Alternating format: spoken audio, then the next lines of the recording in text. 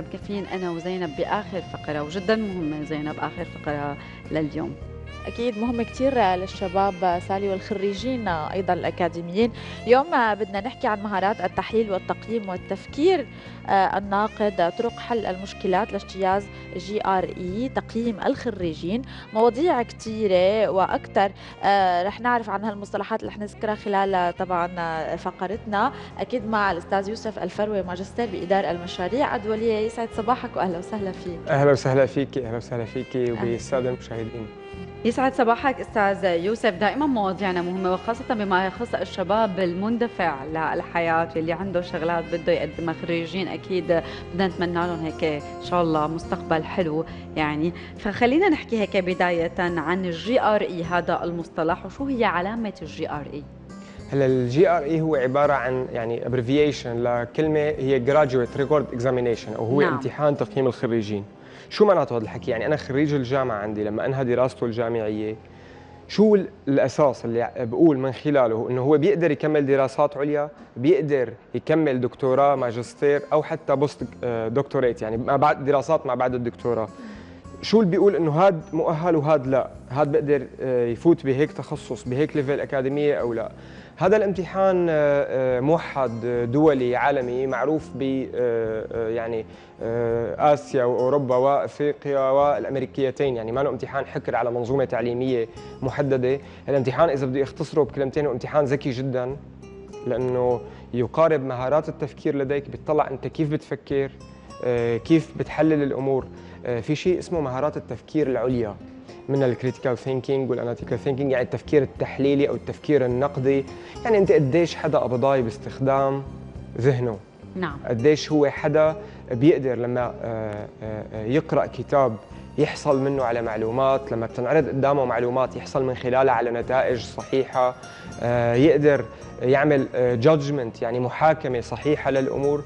كلها هي بنمتحنها بامتحان ال GRE هو طبعا قسمين قسم لغوي وقسم رياضي. هلا إحنا عندنا آه، مفهوم تبع البلاغة وفي الإيجاز. في حدا بده يوصل لك فكرة بيقدر يحكيها بكلمتين. صح. في حدا نفسه بده يوصل لك نفس الفكرة بيحكي 20 كلمة. بالبيئات العلمية الكبيرة وبالبيئات الإدارية العالية هذا الحديث مقتل.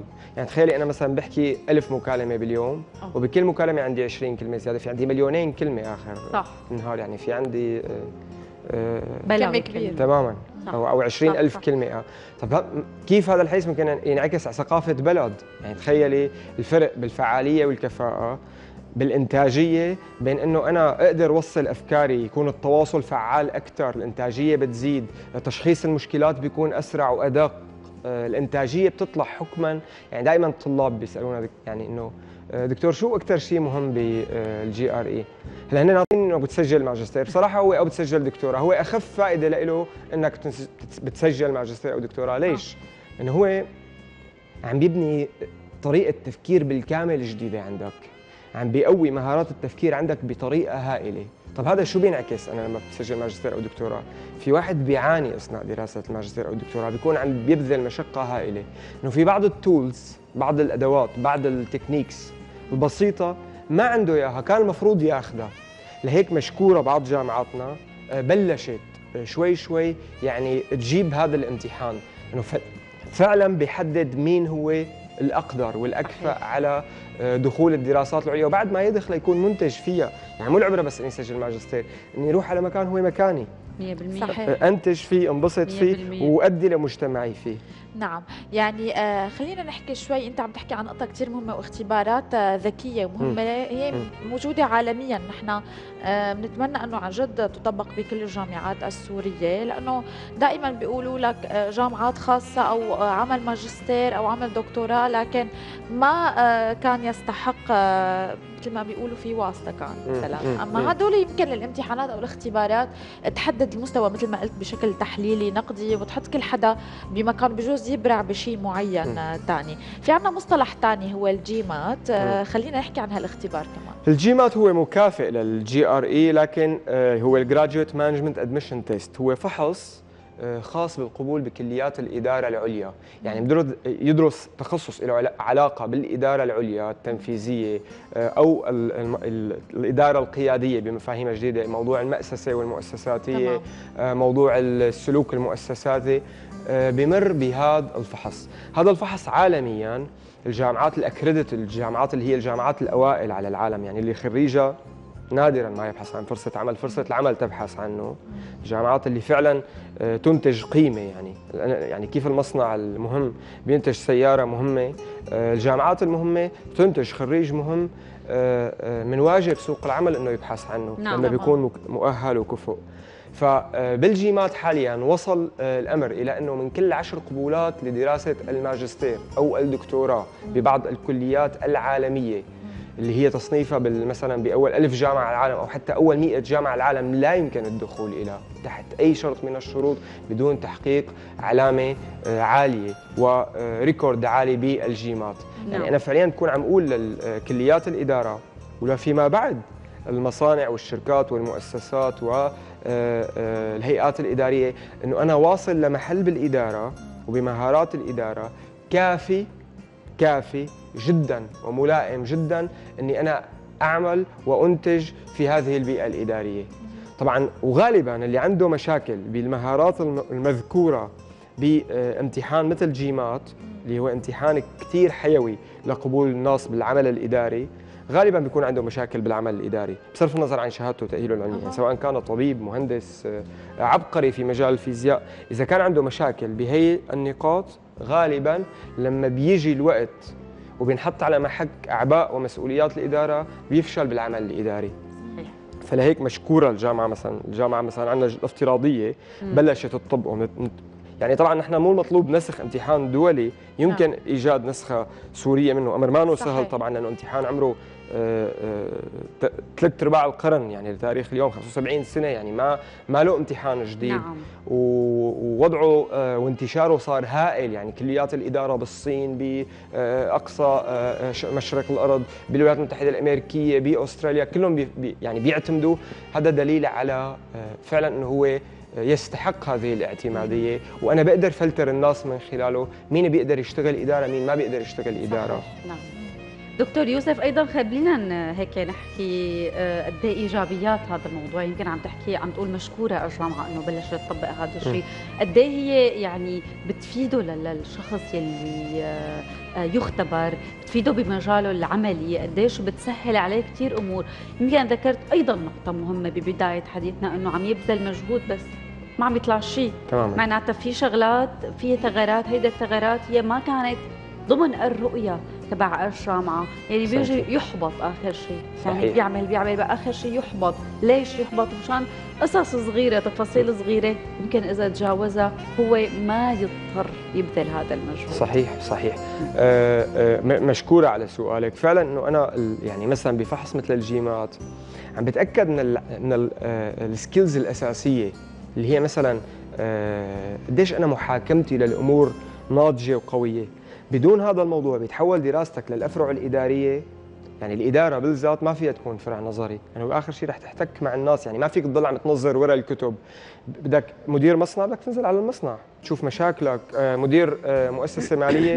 بدك تكون على احتكاك بالمشاكل المالية والتنظيمية والقانونية وكل أنواع المشاكل اللي بيواجهها الاداري ببيئة العمل. هي لا ينفع فيها التنظير.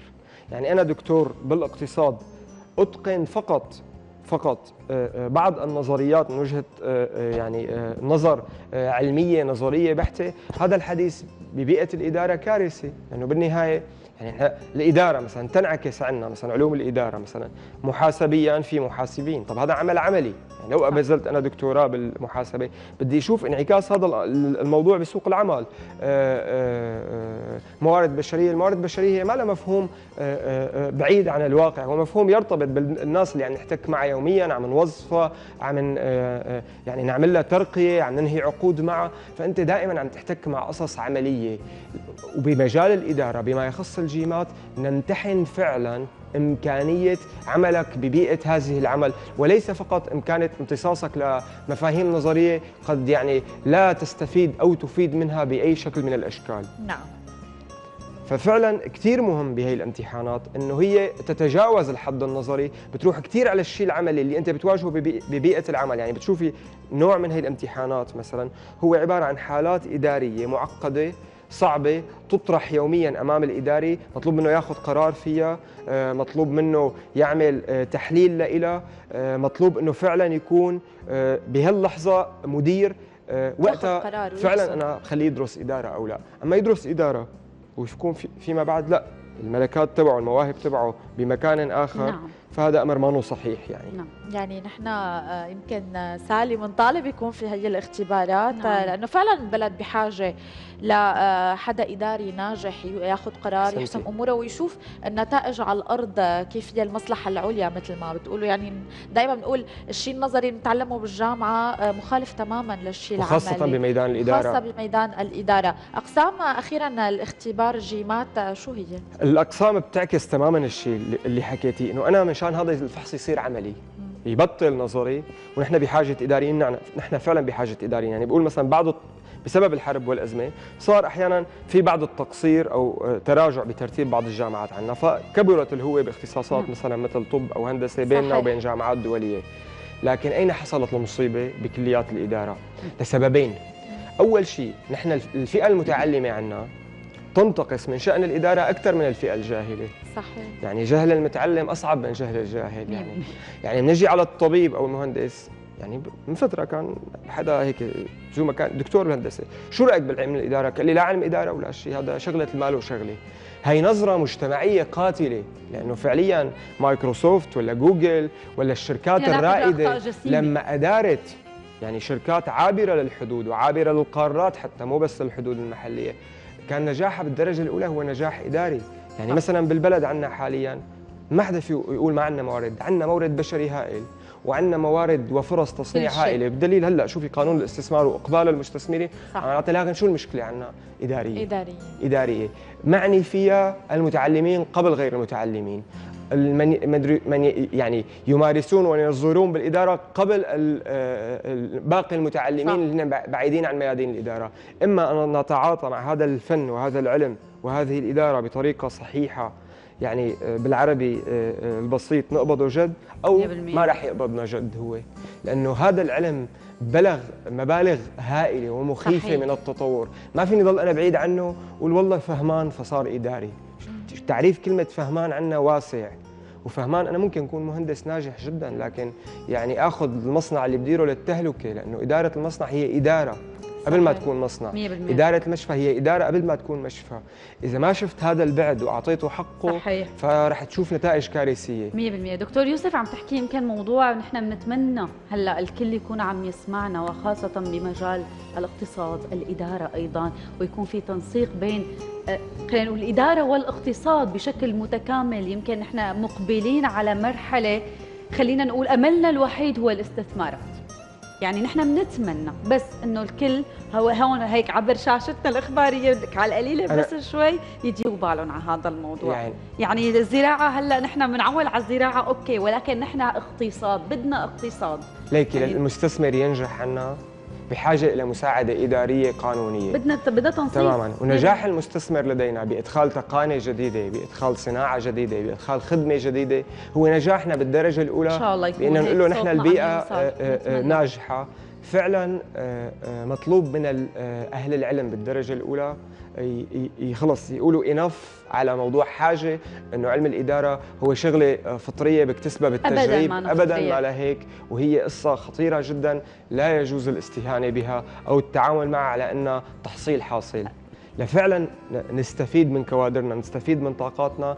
ليس لدينا مشكلة أنا اسف دكتور هي ما تحصيل حاصل والدليل هي بالجامعات تدرس مادة يمكن إذا واحد عم يدرس أدب عربي عنده إدارة. يعني, يعني. بعض الجامعات مثلا الإقليمية التي ترتيبها على العالم هائل رح انهي لك بكلمة.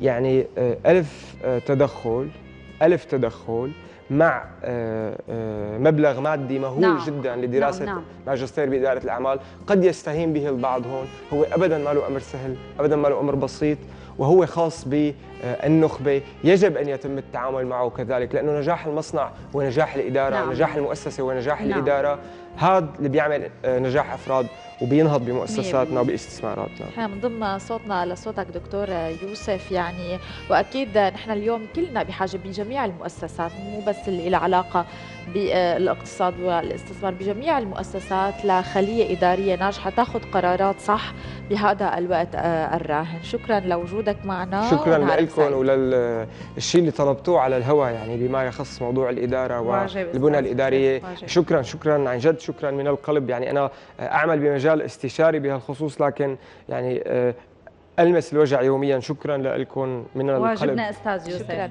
شكرا لوجودك معنا شكرا للمعلومات. كنا حابين نكفي حديثنا لكن وقت خلص للأسف. شكرا لك.